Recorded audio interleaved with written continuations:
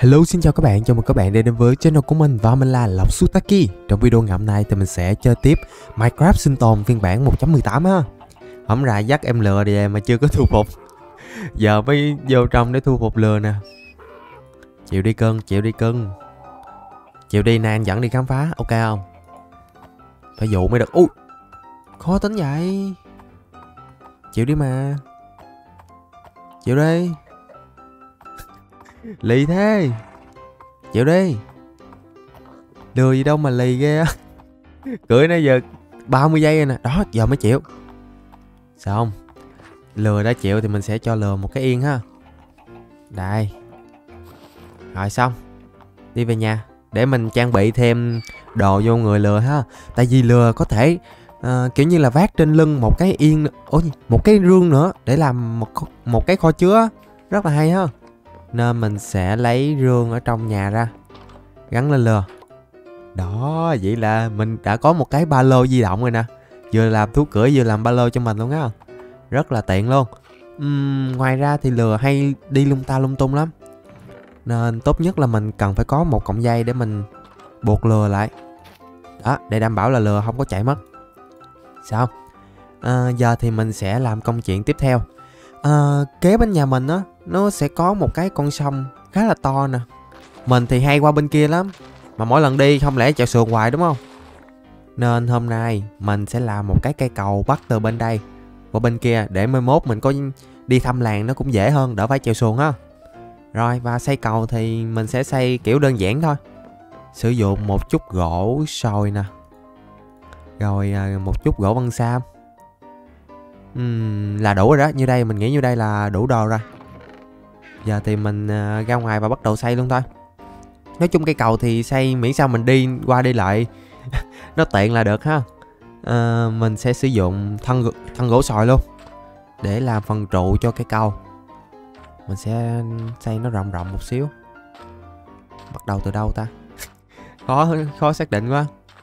Thôi thì bắt đầu từ con đường này đi ha. Một cái trụ ở đây một cái trụ ở đây. Rồi. Tiếp tục mình sẽ cách tầm ờ, uh, 3 hay 5 ô giờ ta? 1 2 3 4 5 Chắc mình sẽ cách 5 ô mình sẽ làm một cái trụ khác ha. Vậy đi. Ô mà không được không được không được. 5 ô thì bị rộng quá không được. Ba ô thôi. 5 ô thì hơi rộng rồi. Mình sẽ cách tầm 3 ô thôi ha. 3 ô là một trụ. Đó giống như vậy nè.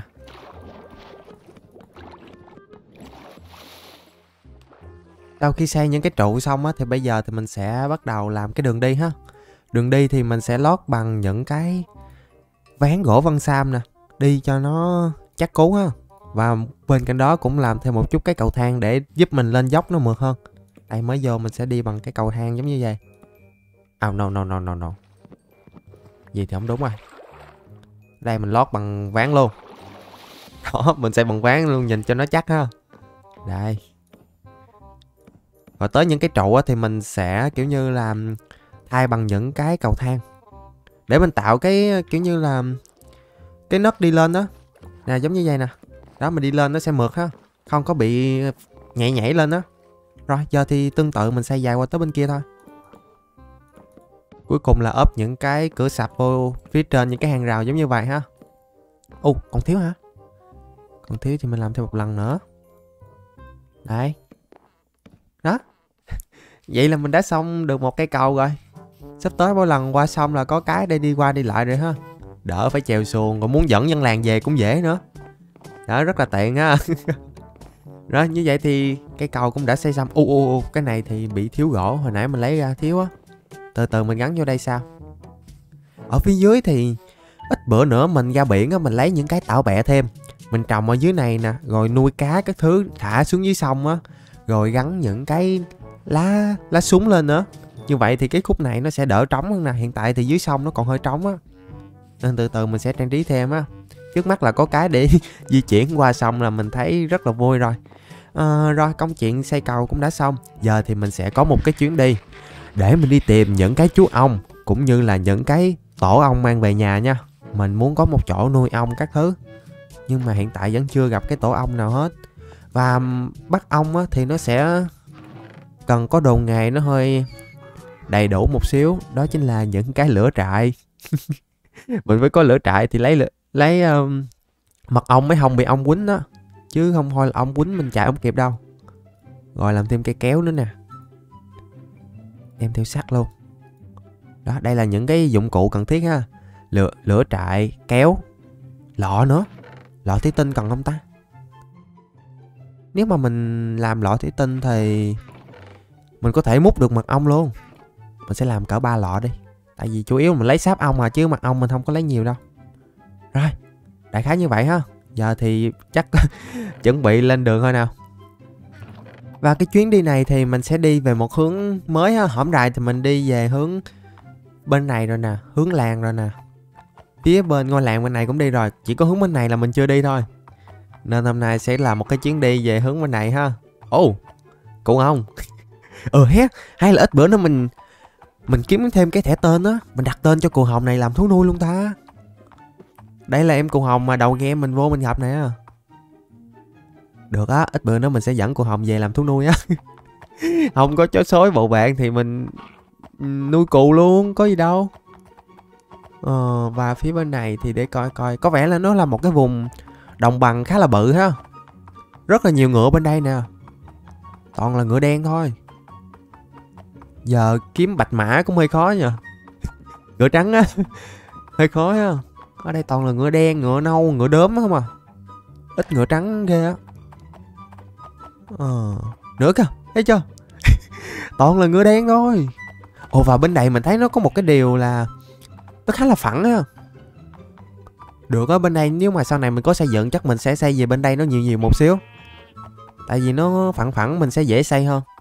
Mình đỡ phải lắp đất các thứ lại. Xây nó cũng tiện hơn á. Rồi, và thật sự đây là một cái vùng đồng bằng rất là to luôn. U là trời, đi nãy giờ chưa hết cái đồng bằng nữa. Mình để ý trên mấy cái cây nha, nhiều khi nó có tô ong á. Chỗ nào mà có tô ong là mình sẽ ghé vô liền luôn, để mình lấy mật ong trước. Được thì mình lấy nguyên cái tổ về luôn. Uhm. có vẻ trước mặt toàn là đồng bằng không à? Kìa kìa thấy rồi. Thấy rồi. Quay em ơi quay em ơi để mình dẫn em lừa mình qua xong cái đó. Chưa gì. Đã thấy được một cái to ong rồi có hai con ong luôn. Ở nguyên một đàn ngựa to đùng. Cái công đoạn này hơi nguy hiểm nha. Được ăn cả ngã là bị ong quýnh đó. Rồi ong đang lấy mật đúng không giờ mình xin nhẹ một chút. Ô cái này chưa có mật ong ồ oh, nó giờ mình sẽ làm liều nha. Mình có cái ồ mình lấy được ơi yes yes yes. Thành công mà không bị ông quýnh luôn. Và mình có mang theo hai cọng dây lận. Một cọng dây là ở trong người em lừa nè một cọng dây mình đang cầm. Giờ mình sẽ dẫn hai em ong này về luôn nha. Tại vì mình phải có ong thì sau này mình mới nhân giống ong rồi làm cái chỗ nuôi ong được. Đi đi đi về đi về đi về. Đi về với anh. Cưới cưới em lừa đi về cưới lừa đi bắt ông, hơi căng nha. Mà mình phải công nhận một điều á là cái vùng này đúng đẹp luôn. Nó cực kỳ phẳng á mình thì thích chỗ như vậy nè. Trời ơi phải đầu game mà gặp chỗ này thì hay quá. Khúc này thì ủa? Nó còn có một chỗ cướp dân làng wow wow wow. Ghê đấy. Được được. Giờ trời hơi tối rồi nó mình đi về trước đi ha. Rồi mình lo cho những cái chú ông này trước đây rồi mình hẳn quay trở lại đó. Thanh toán những cái tên cướp dân làng sao. Hôm bữa dám ghé vô nhà mình cướp bóc là mình thấy hơi oải chè đậu rồi đó. Mình phải trả thù mới được. Cái gì chứ mấy cái này mình nhớ dài lắm thôi, giờ thì chắc mình sẽ tập trung chuyên môn, dẫn ông về nhà cho an toàn nha. Ờ trên đường về thì mình có gặp được một cái ngôi làng, hình như đây là một ngôi làng mới thì phải. Chính xác rồi, đây là một cái ngôi làng mới cũng khá là gần nhà mình ha mình sẽ vô đây để ngủ nhờ một hôm cái đó tại vì đi về buổi tối nó không nguy hiểm lắm. Có cái chỗ nào mình máng hai chú ông này là không ta? Bác cho ngủ ké cái bác ơi. Rồi, xong phim. hên ghê, đi ngang ngôi làng cái ngủ đường đêm miễn phí ha. Rồi, sáng thì tiếp tục hành trình đi về nhà thôi. Như vậy thì sẽ an toàn hơn á. Chứ mình đi ban đêm ăn hôm nguy hiểm lắm. Rồi rồi rồi, tới nhà tới nhà. Để coi coi, bây giờ mình sẽ nhốt hai chú ông này ở đâu đây? Nhà mình thì nhốt gần gần không được, lỡ mà mình chỉ cần đụng nhẹ vô thôi, ông sẽ giận lên, rồi lúc đó quýnh mình, cái là mệt nữa chắc trước mắt là về nhà mình sẽ nhân giống lên liền luôn. Mình sẽ cho ông uh, kiểu như ăn bông nè để đẻ ra thêm một vài chú ông con đó ít nhất là phải duy trì nồi giống trước đi. Phòng trừ trứng những trường hợp xui xẻo xui xẻo gì sao ha rồi. Về tới nhà về tới nhà. Uhm, nuôi ong ở đâu vậy ta? Chắc mình sẽ nuôi gần gần cái nông trại mình đi. Qua đây, qua đây. Hay là nuôi chỗ này cũng được nè, chỗ này có nhiều bông nè. Hợp lý, hợp lý á. Giờ mình sẽ thả tự do cho hai chú ong này trước. Mình sẽ đặt cái tổ ong xuống luôn. Đây, tổ ong mình sẽ đặt ngay cái cây luôn ha. Đó, đây có bông sẵn rồi. Rồi, cho cho ăn nè. Rồi, chuẩn bị đẻ nha. Có ông còn đó. ui giời, ông con nè. Ủa đâu rồi? Nè nè nè, nè chú ông con nè. Đã nha. Ồ, và mình còn có mấy cái bụi cây, bụi bông chứ, bụi bông hồng bự bự. Mình nhớ coi nó rương nào, rương này. Bụi bông hồng nè, có hai bụi luôn. Mình sẽ đem ra kế cái tô ong á, cho ong có có cái mà lấy mật nữa. Nè. Đó. Tha hồ mà lấy mật nha rồi từ từ cái tổ ong này sẽ được lấp đầy bằng những cái mật ong rồi mình sẽ làm những cái tổ ong nhân tạo sao hợp lý hợp lý rồi giờ thì cùng em lừa đi trở lại cái um, cái chỗ căn cứ cướp dân làng thôi. Mình qua đó tới công chuyện liền hôm bữa đi cướp mình à bây giờ mình chủ động mình đi cướp lại luôn. Lấy lại những gì đã mất ha. Ủa mà hôm bữa mình đâu mất gì đâu ta? Thôi kệ không không mất cũng lấy nữa. Tới chứ tao hồi nãy mình nhớ nó đâu bên đây mà. Ngay dùng đồng bằng này mà. Đâu sai được. Đúng rồi. Nó đâu đó bên kia kìa. Kìa kìa kìa, thấy rồi nha. Và có vẻ bọn cướp dân làng này có bắt người sát hay sao á? Có một cái lồng nhỏ nhỏ đằng kia là thường thường là sẽ nhốt người sát đó. Không được rồi, Mình phải giải cứu anh bạn người sát thôi. Hôm nay bọn cướp dân làng này tới số rồi, Gặp mình là coi như là nó tới số rồi. Ồ ồ ồ, chưa gì đã có tên ở dưới rồi. Hai tên luôn. Hôm nay là dũng sĩ cưỡi lừa, Giải cứu anh người sắt May mắn. Giải cứu người sắt Đừng có lao tét nha. Đừng có lao tét nha. Mấy con này. Con nào lại đây là mình sẽ bắn hết. Dũng sĩ cưỡi lừa. Dũng sĩ cưỡi lừa. Dũng sĩ cưỡi lừa. Rồi xong phim. Lên núi lên núi em ơi. Trèo lên. Đi giải cứu người sắt rồi, tới nơi tới nơi. Mình không có đem theo cái hộp quẹt á, Phải mình đem theo hộp quẹt là mình thủ tiêu cái chỗ này luôn. Mình đốt sạch luôn. À. Như nào? Như nào? Như nào? Ồ Eo eo eo eo. Nguy hiểm nha. Mình cứ đứng ở trên thôi bọn chúng bắn không có chúng hết đâu. Áo bắn trúng luôn á. Ghê ơi Một tên. Một tên hai tên ba tên. Còn tên xa xa nữa kìa mình sẽ tiêu diệt luôn. Ủa, tên này hơi khó bắn trúng nha. Tên đó xa quá bắn khó trúng quá. thôi để mình xuống dưới mình thủ tiêu nó luôn ha. Không cho nó đẻ trứng. Ngậm đi. Ui, có một tên đây nữa nè. Té đi chỗ khác đi. Ở dưới này vẫn còn một vài tên cướp khác nữa. Quân số của con chúng hơi bị đông luôn. Quân số của mình thì chỉ có một mình mình à. Hình như bọn này mới đi cướp về hay sao á. Mình thấy đi từ rất là nhiều hướng khác nhau luôn á. Nè nè nè, mò lên, nó mò tới nơi luôn rồi kìa mò tới lên trên đây luôn à? Mình sẽ tiêu diệt hết Không cho đẻ trứng đâu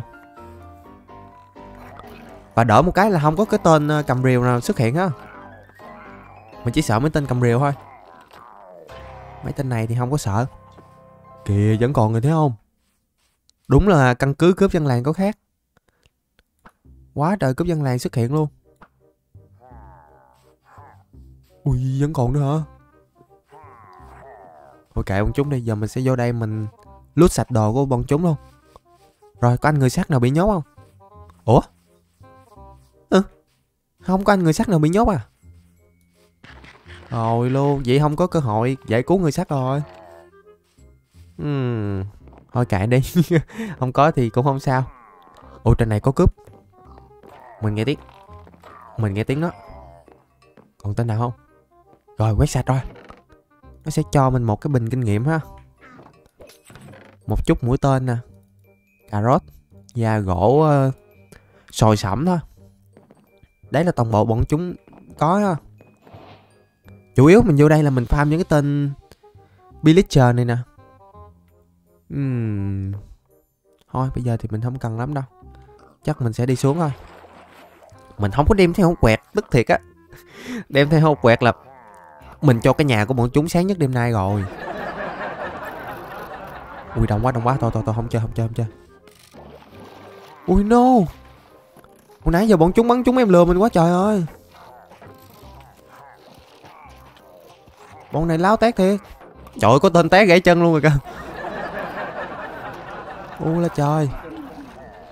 Láo tét Láo tét thiệt. Láo tét. Dám bắn Dám, dám bắn em lừa của mình. Mấy con này láo thiệt.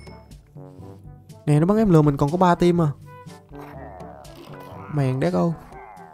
Ôi chạy em ơi chạy em ơi. Chạy lẹ chạy lẹ. Ui đừng có bắn trúng lừa mình nhé. Mấy tên này. Lừa ta yếu lắm rồi. Trời ơi đúng là đi cà khịa một hồi suýt nữa thì Mất đi người bạn đồng hành rồi. Nguy hiểm quá đi. Tại vì trên kia mình nhảy xuống á Cái mình lôi em lừa xuống luôn. Thế Không hiểu sao bọn chúng Bắn chúng em lừa mình mấy hit. Hên là lừa mình cũng trâu trâu á Không thôi là thành lừa bảy món rồi Thôi chuồn chuồn chuồn chuồn. Sợ thiệt. Ờ mà nhân tiện đây mình sẽ làm một cái um, Bàn chế tạo. Chế ra cái xô Để làm sổ sữa ha. Cái xô nè. Rồi giờ đi đi, múc, đi múc sữa thôi. Kiếm con bò múc sữa uống Cho mất hiệu ứng à, điểm xấu trên người đi Chứ về nhà mà lại tiếp tục cái trận xâm lược nữa thì chết á. Phiền lắm. Ui! No no no no no. Ui! Chạy đi em! Con xương con kiếp nó bắn vô mông em lừa mình. Trời ơi nhỏ còn có một cái tim nữa à. Mèn đét ơi! Rồi luôn thương binh hạng một rồi. Em lừa mình thành thương binh hạng một rồi. Hồi nãy giờ bị bị bắn hơi nhiều đó. Ui, ui còn trước có con con xương kìa. Né né nó ra nó bắn cái nữa em lừa mình đi luôn á. Sợ thì chứ. Đừng con nào bắn nữa nha. Không có đem theo cái giường thì tứ ra mỗi tối là em lừa mình. Đối mặt với nguy cơ là bị xương nó rình rình nó bắn vô mông á. Reaper nữa. Thôi thôi thôi. Giờ mình tốt nhất là mình nên thương em lừa của mình. Ui dồi ui nó bắn nữa kìa. Ui dồi ui nó bắn nữa kìa. Ui ui, nó bắn hụt nó bắn hụt nè nè nè nè nè né né né. Lăn lăn ba di bộ. Né né né. Vậy cũng được nữa. Rồi, về thì gần về tới nhà rồi. Cố lên cố lên. Dũng sĩ cưỡi lừa chiếc này chạy chạy sắp mặt luôn trời ơi, về nhà sao còn quái nó đứng trước cửa nó chặn gì ui dồi ôi binh đồn binh đồn zombie kìa. Chạy chạy chạy chạy, đi ngủ đi ngủ. Ngủ lẹ thôi. Trời đất ơi. Chưa bao giờ mình cảm giác một cái đêm mà nó nguy hiểm như vậy á. Rồi rồi, đi ngủ đi ngủ đi ngủ, tới nhà rồi. Buộc em lừa lại. Đi ngủ.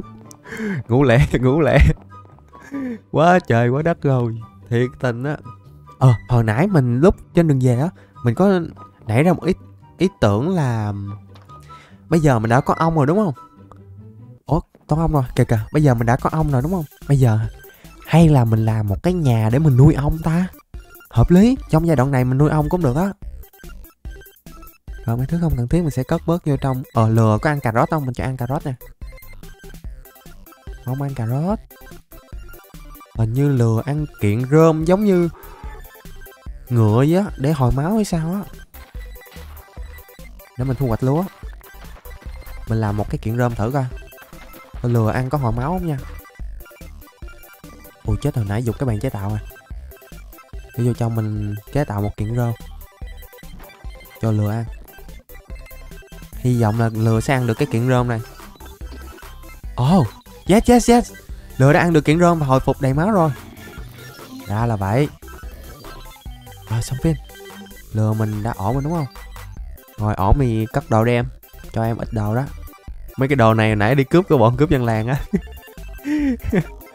Rồi, giờ thì chắc mình sẽ ờ, chuẩn bị nguyên vật liệu ha. Rồi chúng ta sẽ bắt đầu vào công cuộc, xây dựng một cái chỗ giúp mình có thể nuôi ong nè. Rồi sau này thu hoạch những cái mật ong nó an toàn hơn á. Thay vì phải đứng ở ngoài này thì nguy hiểm lắm khu vực xây dựng thì chắc mình sẽ xây ở phía bên đây sông luôn đi mới làm cây cầu bắt qua sông nè.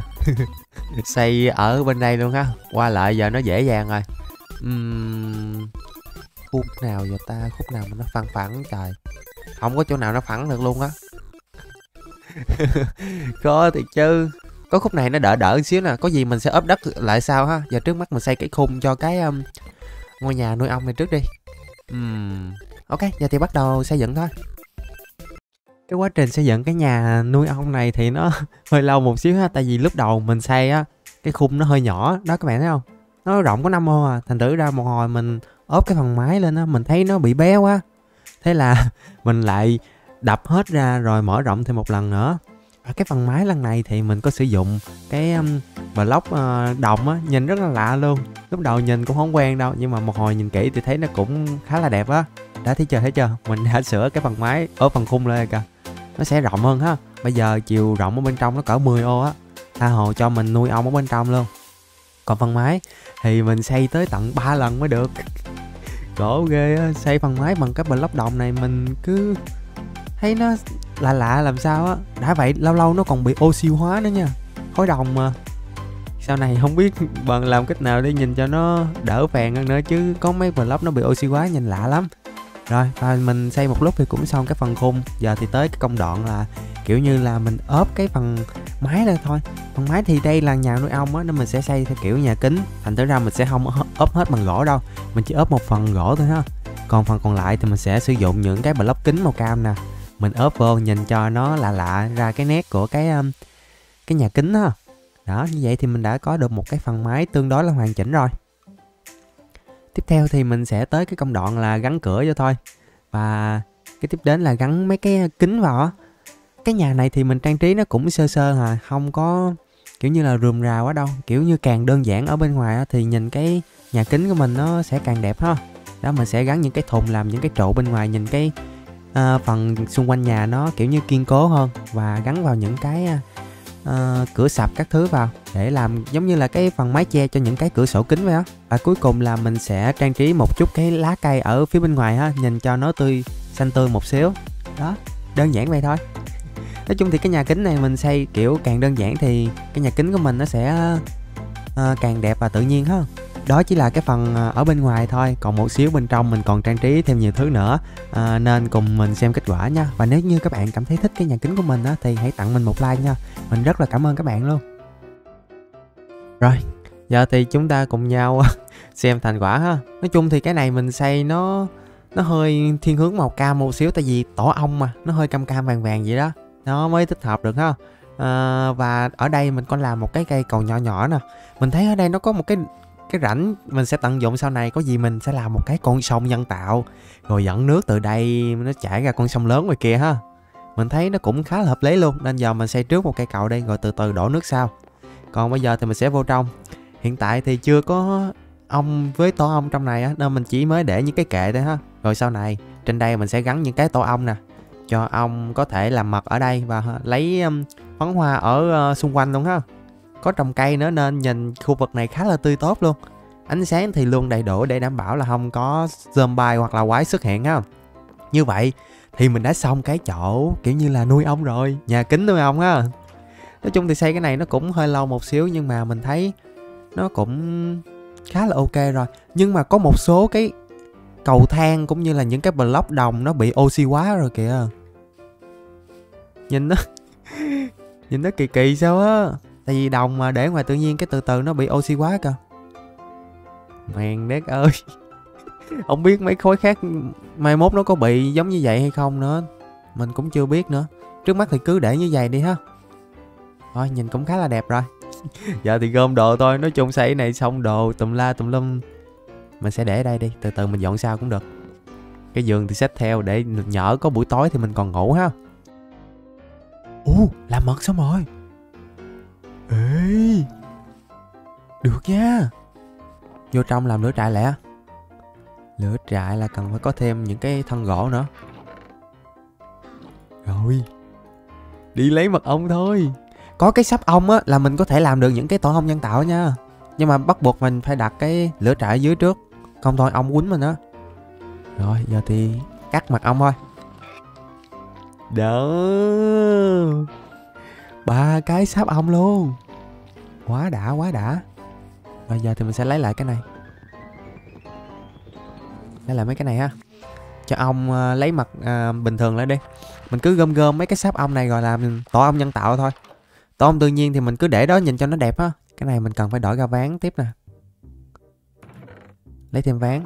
Rồi mình sẽ được một cái tổ ong nhân tạo làm theo công thức giống như vậy ha.